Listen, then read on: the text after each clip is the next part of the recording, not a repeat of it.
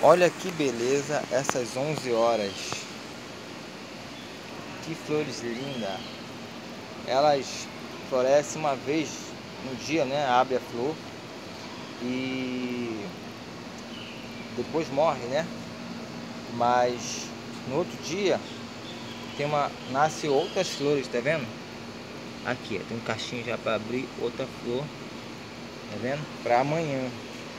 Mais 11 horas, 11 horas é uma planta show. adoro trabalhar com 11 horas porque o impacto dela é certo, entendeu?